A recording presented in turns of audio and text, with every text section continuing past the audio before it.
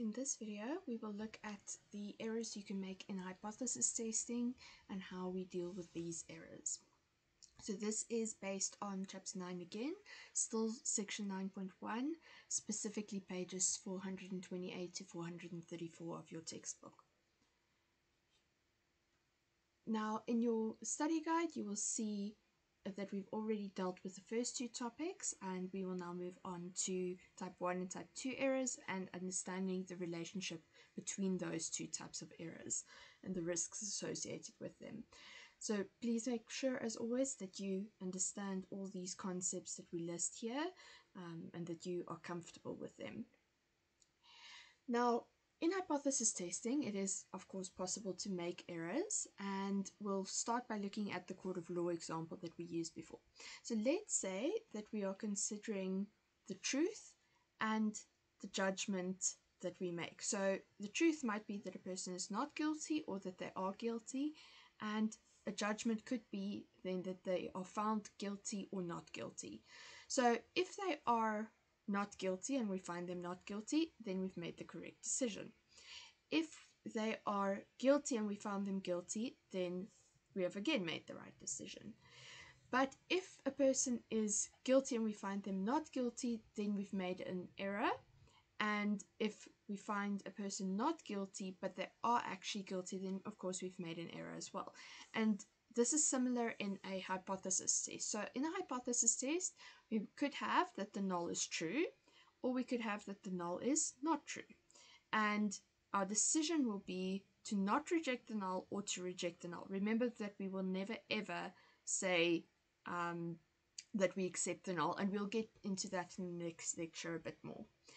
Now, if the null is true and we don't reject it, then we've made the right decision. And if the null is not true and we have rejected it, then we've made the right decision again. Whereas if we um, know that the null is not true and we didn't reject it, then we've made a wrong decision. Um, and if it's true, but we did reject it, then we've made an error as well. And these errors have special names. So the first one we'll look at is a type 1 error, and that is when the null is true, but we've rejected it. And the second type of error is a type 2 error, which is um, when the null is not true. In other words, an alternative, a value under the alternative is correct, but we have um, not rejected the null. That is a type 2 error. And obviously we would want to minimize the risk of making these errors as much as possible. Now, if we take a step back, step one in our hypothesis testing was formulating our null and alternative. And just a reminder, this always has to be in terms of, our, uh, of a population parameter. So um, mu, p, sigma squared, difference of means, so mu1 minus mu2, that would work as well. Um, and we generally denote this generically by just using a theta. So theta can be replaced by any population parameter. Then we also have a value under the null, which we call the null value or the hypothesized value. And we just add a little subscript zero. So that is going to be an actual value that our whole theory and our whole test is based around. Then again, we can just denote that by a generic theta zero as well. Now, step two is finding a test statistic, so deciding what is an appropriate test statistic to use, thinking about the distribution of that test statistic, and deciding on a decision rule, taking into account the risks involved in hypothesis testing. So this is now where the new work comes in.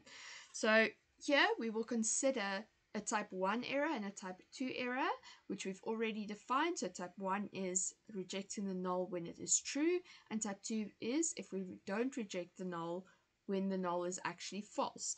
So we need to keep these in mind when we actually define our hypotheses.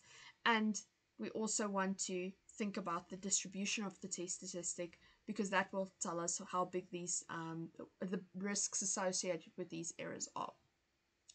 Now let's look at an example first. So let's say X is the nicotine content of cigarettes. We've already looked at this example before and we've said that we want to test whether the mean is greater than 1.5 milligrams. And again, notice no um, units are shown in the null and alternative.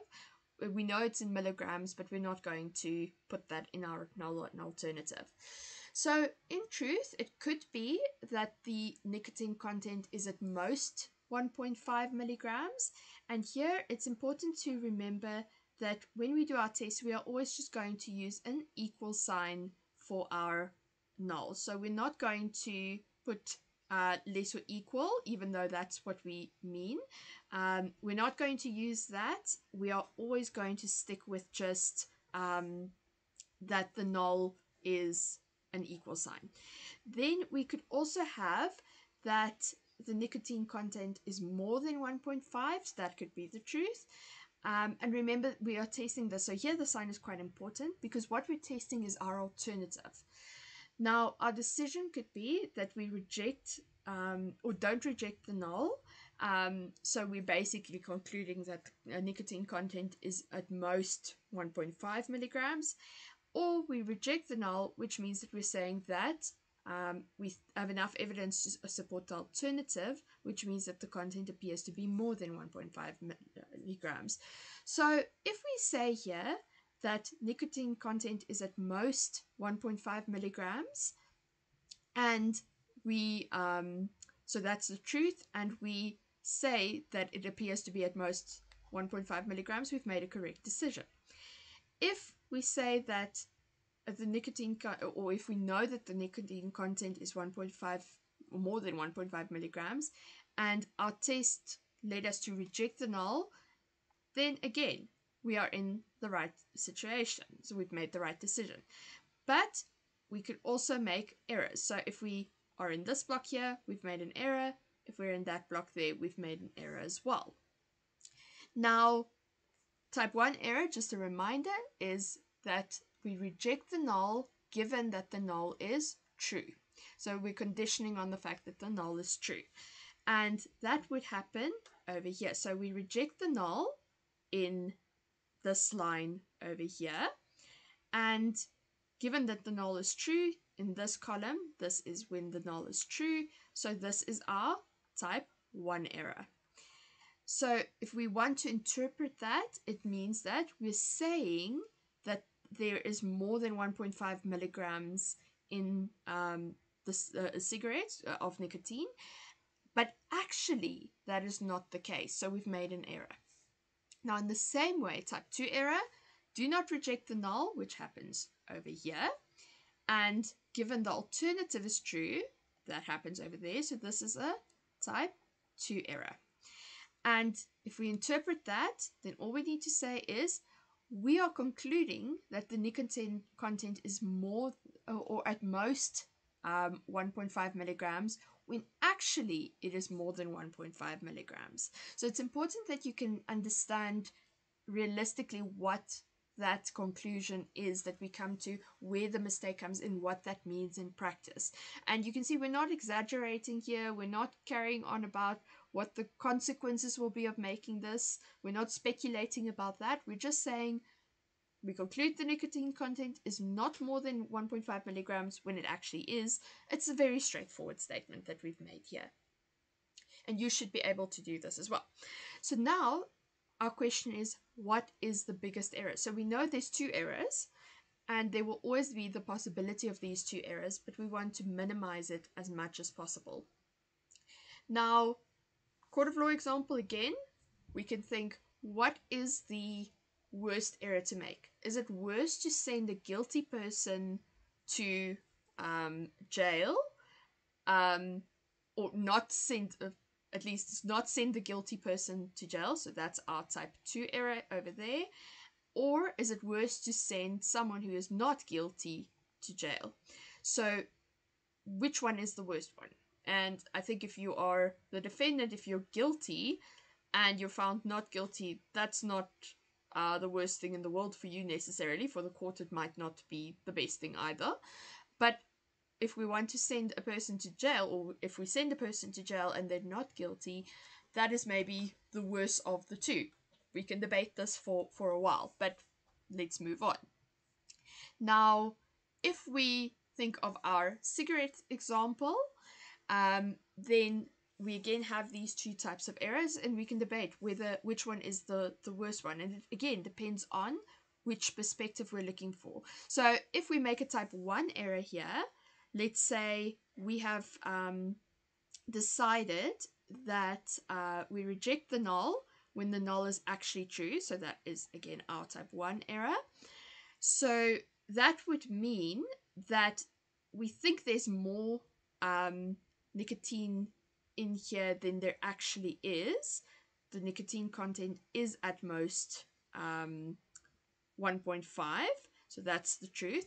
Then what that basically means is that we're concluding that there's less, or we, we're concluding that there's more nicotine in the cigarettes than there actually is. So if you are a client, then you might think you're getting more um, nicotine in than you actually are. Um, for the manufacturer, this um, could also be problematic. Then, if we think nicotine content more than 1.5, that's the truth, but the content appears to be at most 1.5, so here we have our type 2 error. So, if you're a consumer and the manufacturer tells you, well, there seems to be only um, at most 1.5 um, milligrams of nicotine, and we reject the null, or we don't reject the null, when actually there is more than 1.5 milligrams of nicotine, then you're getting a lot more in than you expect, and that could maybe lead to some legal problems for the manufacturer. So each case, depending on which side you can look from, could be um, worse for for the the one um, in the one scenario and worse for the other person in the other scenario. So we need to decide which one is the biggest risk, and that is important for setting up our hypotheses.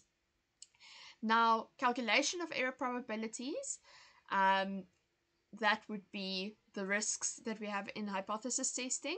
So the first one that we're going to look at is the um, probability of making a type 1 error which is the probability of rejecting the null when it's actually true.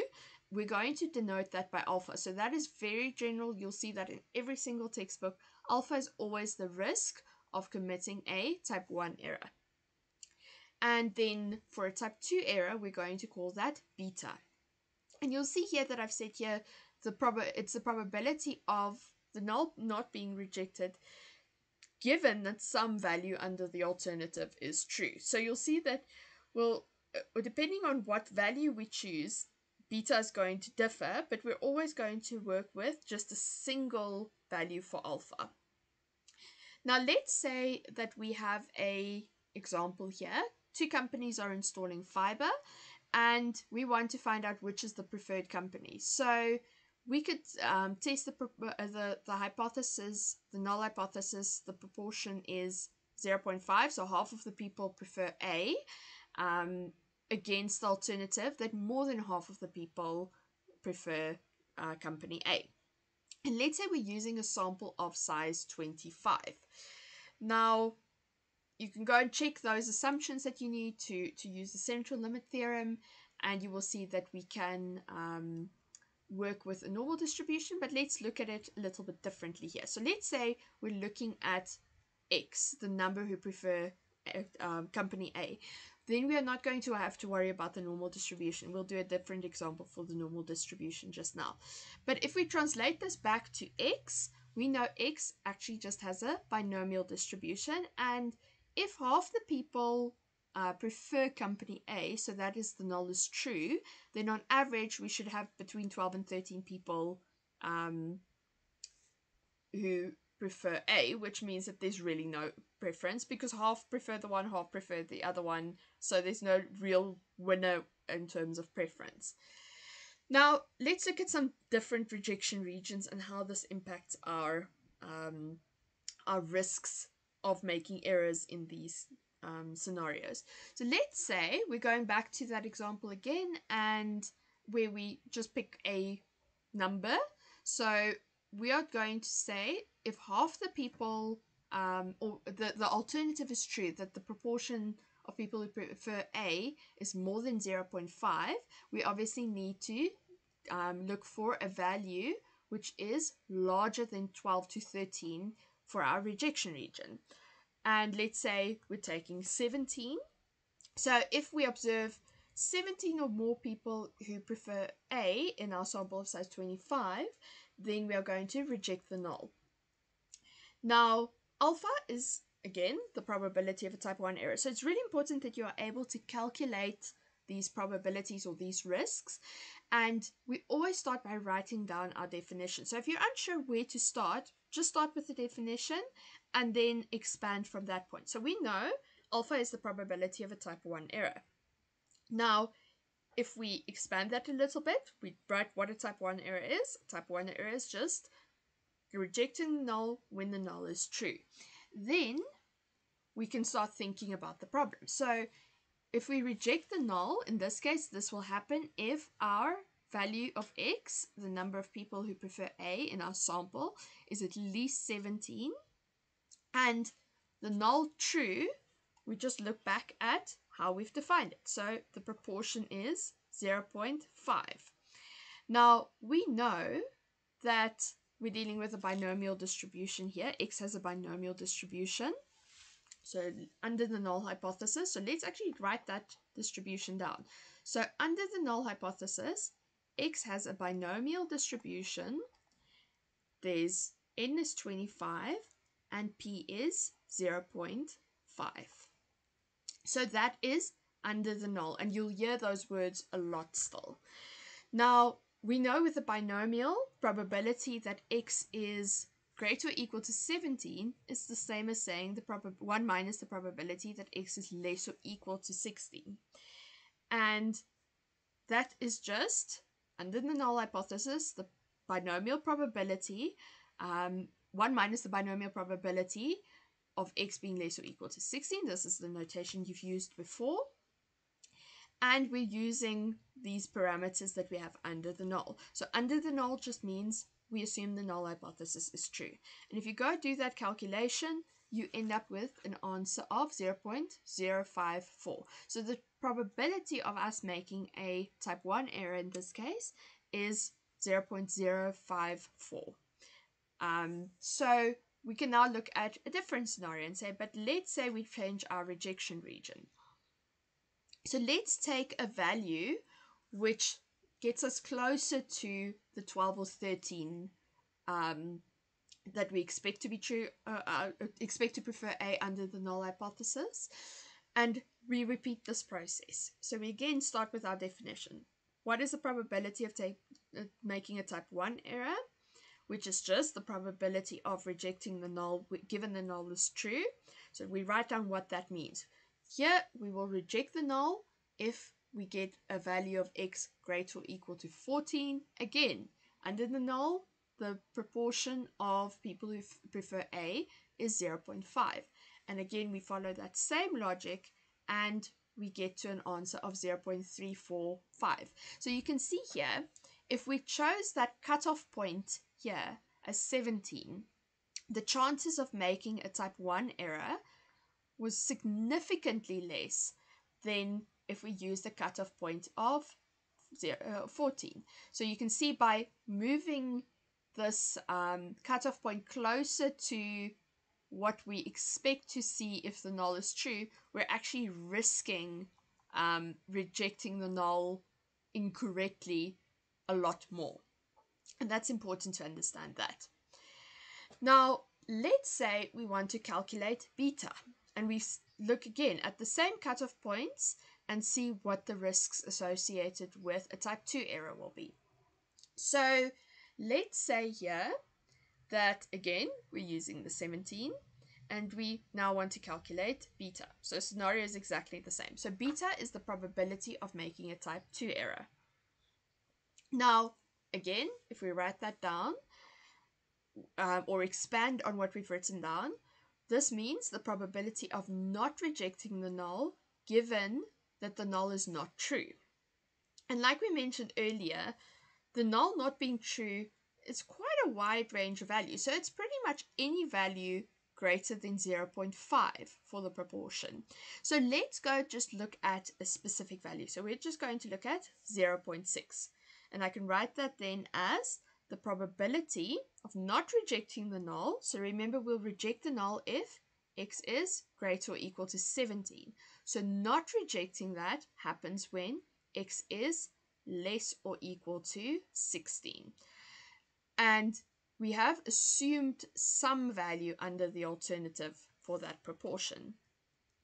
Now, that means that we are going to calculate the binomial probability that x is less or equal to 16 given this distribution under the alternative or a distribution under the alternative. Because remember we could have used 0.7 here we could have used 0.8 and we'll do that just now as well to see how that changes our risk of a type 2 error.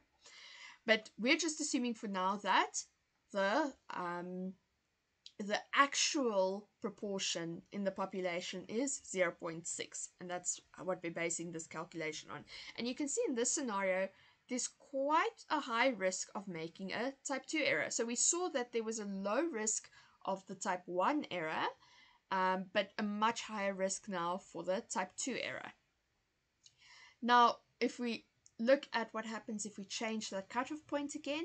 So we're changing it to the 14 that we saw before as well. And remember with that one, we had a higher risk of making a type 1 error. So let's see what happens with the type 2 error.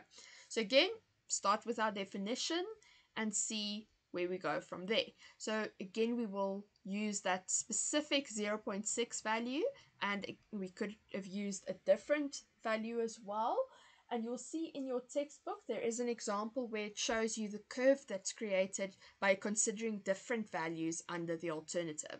And that's something you can play around with in R as well. We'll get to that in your practical. Now, beta is, in this case, the probability of not rejecting the null. And again, look at this, not rejecting the null. We go back to what that cutoff point is, and we don't reject the null if it is outside that x value is outside this range. Smallest x value we can observe outside this range is 13. So we won't reject the null if x is 13 or less. And again, we are making assumption on, uh, about this proportion under the alternative, a specific value under the alternative. So if we do that calculation, we end up with this probability. So here we can now see that in the first case, our alpha was small, but our beta was large. Here we had a larger alpha but a smaller beta. So you can kind of already start seeing that there's a bit of a trade-off between these two errors, and we'll look at how we can address that later on. Now, let's look at the effect of the cutoff point again with a different scenario. And I want you guys to do this first. So let's look at the scenario first. X is the diastolic blood pressure of a healthy person. And let's say we assume that x is normally distributed 70.5 3.2 squared is our variance. And we want to know does a supplement decrease diastolic blood pressure? So our first question is what are the hypotheses that we are testing? So i want to give you a moment to just think about that first. So pause the video and then write down your null and alternative and look at um, what your risks for alpha would be if you pick some random cutoff point. So let's say that you've written this down. So let's just continue here. So we say let mu be the mean diastolic blood pressure for people using the supplement. And that would mean that H uh, naught, the null hypothesis, is that the mean is 70.5. The alternative is that the mean is less than 70.5. And that we get by say uh, looking at this question. So our research question was, does the supplement decrease your diastolic blood pressure? And that's why we have a less than here. Now, let's say we're using a N is 40 and we're saying X bar is the sample mean for people using this supplement um, for the diastolic blood pressure, and we'll consider different rejection regions. So the first one we will consider is less than um, 69 uh, uh, the, the diastolic blood pressure. So if we get a sample mean, sorry, this should say x bar less than 69. So if we have this scenario, I want you to think quickly. how would you calculate your probability of a type 1 error. So please pause the video and first try this calculation on your own. All right. So again, we start by writing down our definition. So alpha is the probability of making a type 1 error. Now, that just means the probability of rejecting the null given the null is true. Now, we will reject the null in this case if x bar is less or equal to 69. So, that is what we will write there. The probability that x bar is less or equal to 69 given that the mean is actually 70.5. So given the alternative, uh, or sorry, the null is true. So that is what's happening here. Now, next step is to do this calculation to think. Now, x bar, what distribution does x bar have? So we know we need that distribution in order to do our calculations. Now, if we look at this, we know x is a normal distribution. So regardless of sample size, x bar will also have a normal distribution. So we know we're going to work with the normal distribution here. So let's say we didn't know that x bar had an or x had a normal distribution. In that case, our sample size is actually sufficiently large to use the central limit theorem and say that x bar would have an approximate normal distribution. So always keep that in mind. Those assumptions that we give you are there for a reason. If we um, if they're not met, it means we can't apply the different techniques. Now, because we know x bar has a normal distribution, under the null hypothesis, this distribution of x bar will be 70.5 for the mean, and the variance will be 3.2 squared over the sample size. So remember, this is our variance. This is the distribution under the null hypothesis. Now, you can see that that is what we use to standardize here. We subtracted the mean under the null hypothesis and we divided by the standard deviation under the null hypothesis, which means that we need the cumulative probability of z being less than minus 2.96. And you can see here how the previous chapters work is coming into play yet again. So we told you before that all of these chapters, chapter 8, chapter 9, and so on, will be building on the concepts we used in chapter 6 and even before that. Now, if you go back to your normal tables, you will find the probability of making a type 1 error in this case is very, very small. Now, if we look at the probability that, um, or we use a different cutoff point, let's again just fix this. This should be x bar. We will use a cutoff point where if x bar is less or equal to 70, then we will reject the null hypothesis. So again, I want you to pause the video and see if you can do this calculation yourself.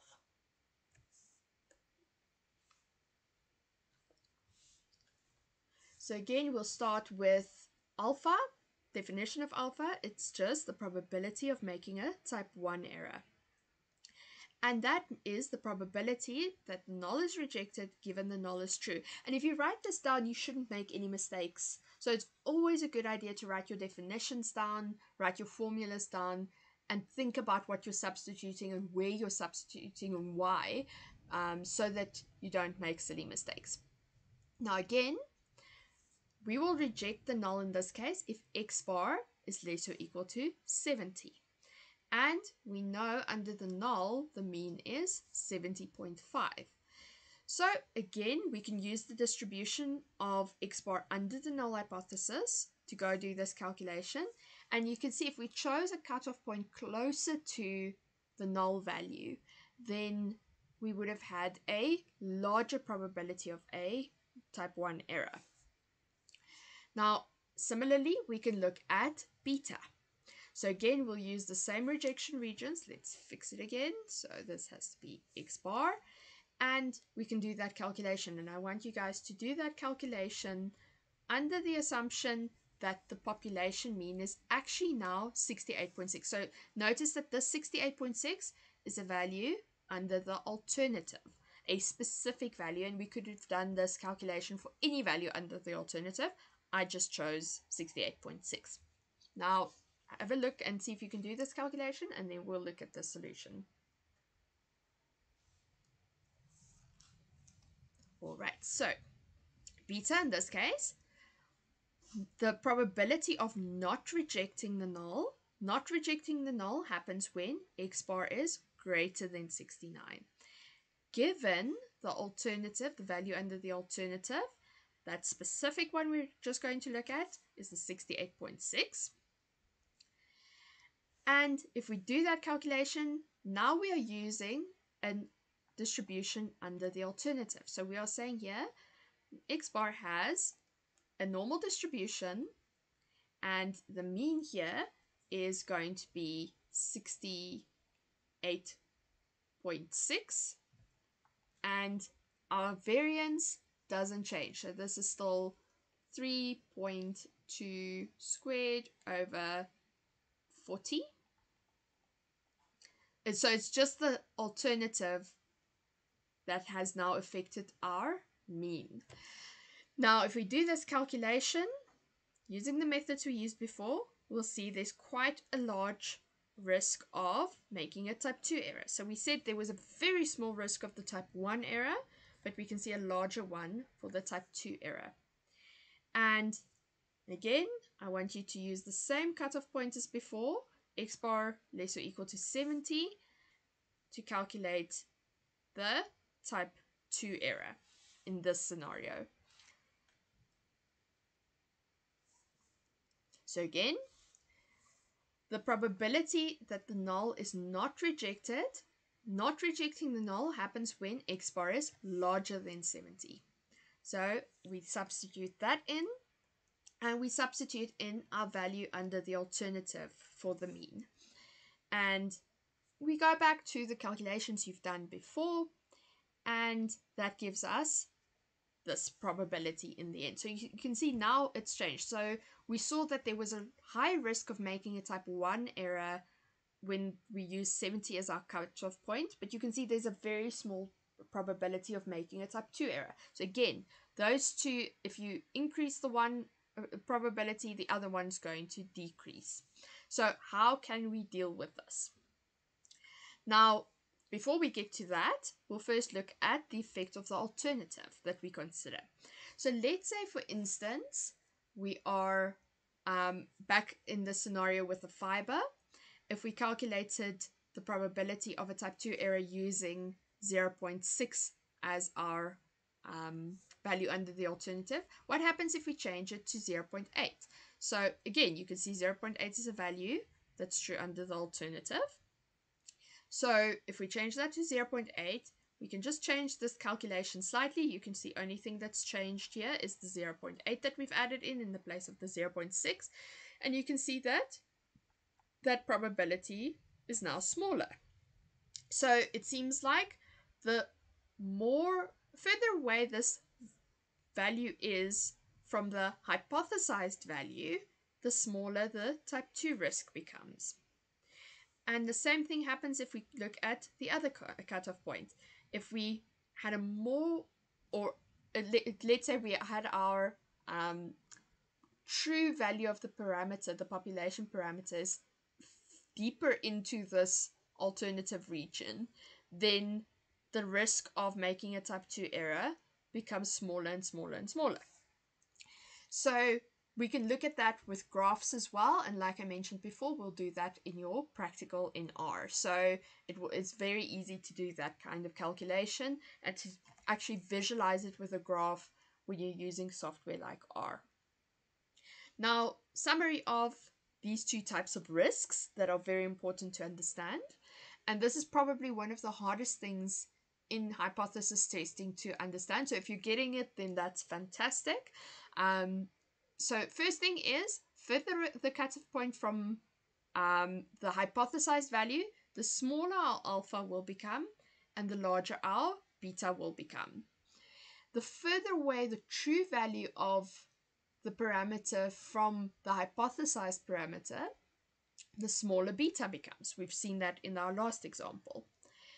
Now, if we want both of them to be small, both of those risks to be small, then our sample size has to be increased. And you can go and try that yourself. So if you go and repeat these examples, let's say you keep everything we had the same, but you change the sample size. Let's look at this example, for example. Um, maybe go change this value to 100 and see what effect that will have on your um, values of alpha and beta. Now, and then you can see that this is actually true.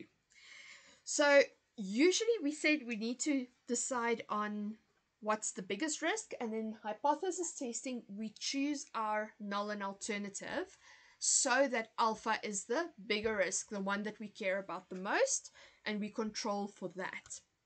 So we formulate null, the null and alternative so that alpha is minimized, and we will look at examples of that as well. So for our court of law example, alpha is the probability that a person is found guilty when they're not guilty. We don't want to send innocent people to jail.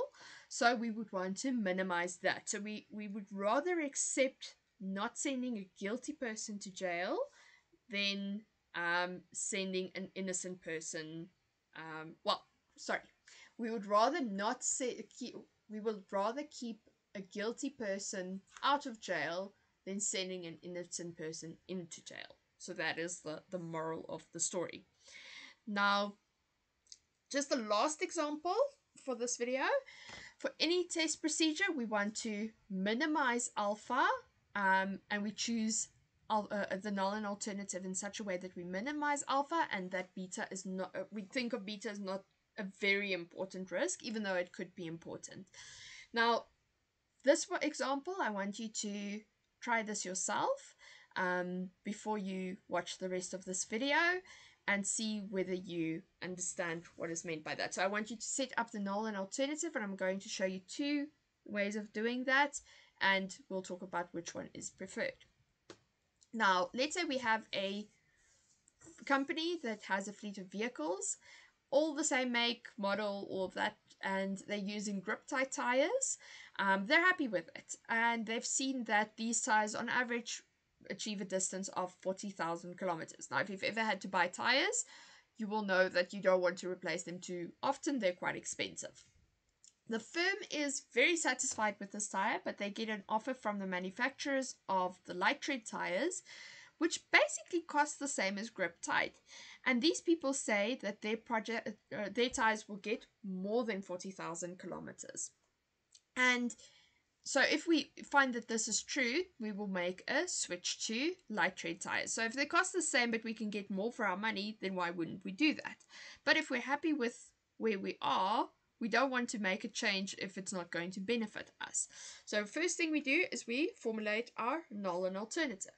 And I think the most natural way of doing this is to say that the mean tire um, under the null, the average um, distance we get from these tires, tires of 40,000 kilometers. And under the alternative, we are interested in seeing whether this new type of tire will give us more than 40,000 kilometers. So in this case, we will only make a switch if we can prove that the alternative is true. So this is where we will make a switch. If this new type of tire gives us more than 40,000 kilometers. Now, if we make a type 1 error, type 1 error is that we reject the null given that it's true. So we're making the switch when actually the new tires don't give us more mileage. So that would mean that we conclude that light tread is better when grip tight is actually the better tire, and therefore we make a switch when it's not necessarily beneficial. And remember, this alternate or the null actually implies that it's 40 the average is 40,000 or less. It's an implicit um, thing that we have here. So it might actually be that we're making the switch and this new tire gives us less mileage than the other ones. So type 2 error is not rejecting the null when the null is false so we're saying that the null is false it is less or equal to 40,000 when um uh well the null is false means that it's more than 40,000, sorry about that, um, when actually, um, yeah, we, we say that it's less or equal to 40,000 when actually it's more than that. So we conclude that grip tight is better when light tread is actually the better one, and therefore we don't switch the tires when it would be beneficial. So we don't reject the null, we don't switch. So we, we've made the wrong decision there. Now, if you had defined this differently, uh, let's actually look at, at the biggest risk here. So for us, the biggest risk in this case would be making a switch when it's not beneficial. So you can see here that this is the, the type 1 error is the one that we are the most concerned with here. So that is why we've defined our null and alternative in this way. Now, if you had gone and said, well, well we're going to test if the new tires are worse. So if they're worse, we won't make a switch. So we'll actually make the switch if we don't reject the null hypothesis. Because if we can see that the new tires have less mileage than the old ones, then we won't make the switch. So we're switching unless we can prove that they're worse. That's what happens with this um, uh, in this case. So you can see here, type 1 error would mean that we um, reject the null given it's true. So we're going to say that this is worse. We don't make the switch. So we conclude that light tread is worse when actually it's the same or possibly better. We don't really know that um, because now our alternative or our null here implies greater or equal actually. But remember, we're testing the alternative. We're not testing the null. So it could be that light tread is better. We're not going to make a switch in this case. We've rejected the null. We, we're going to stick with the other ones, but maybe the other the, the switch would have been beneficial. And in this case, do not reject the null given the null is false would mean that we're uh, going to make the switch um, when actually the null was incorrect. So that light tread is, we're, we're saying that light tread is better when grip tight is actually the better attire, and we're making a switch when it's not beneficial to us. So in this case, we said that here the type 2 error is the, the worst one, um, the worst scenario for us. So we don't want the type 2 error to be the one that um, that is minimized. We want to minimize the type 1 error. So this is the better way of defining that. And again, it was what are we interested in? We're interested in seeing whether we get more mileage from this tire. So that's why we define it in this way. And you can see that we end up with different decisions in the end if we um, define it differently. So this second method is not the way that we would want to go about it. We would want to go about this test in the first manner. So whatever we're interested in, that goes in the alternative because that's usually where the biggest risk is associated with the type 1 error. So for homework, I want you guys to go work through examples 9.1 to 9.5 of your textbook and then also work through exercises 4, 5, 6, 8, 9, and 10 in your um, textbook.